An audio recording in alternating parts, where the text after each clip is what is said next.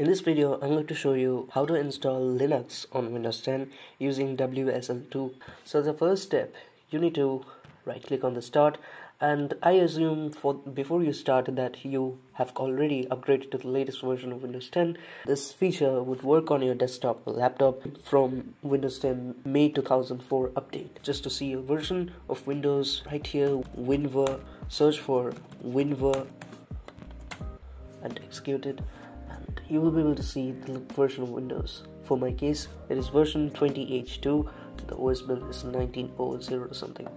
First we need to enable WSL for Windows. For that, we need to right click on the start and open Windows PowerShell as admin. Click on yes and this window would open up. Now wait for some time unless this line comes up. When this line is here, paste a command and wait for some time unless the features are enabled. Provided you have done step 1 successfully, now you need to enable the virtual machine feature in your computer. For this, you need to run the following code that I'm entering here.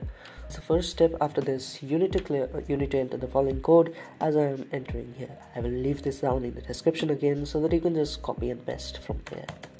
DISM, okay, dism.exe slash online slash enable dash feature slash feature name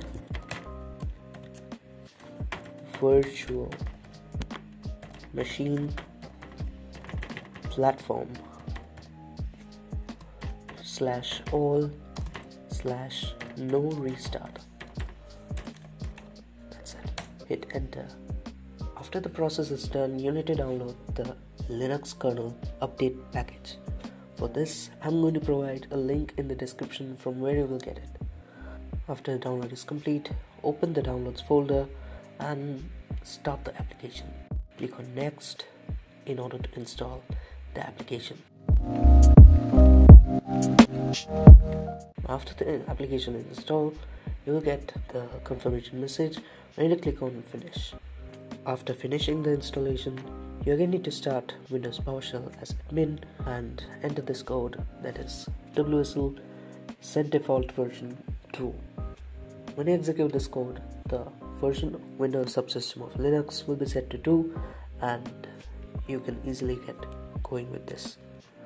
Next steps are very easy. You just need to go to Microsoft Store and search for your favorite version of Linux. For example, you want to go for Kali, just enter Kali and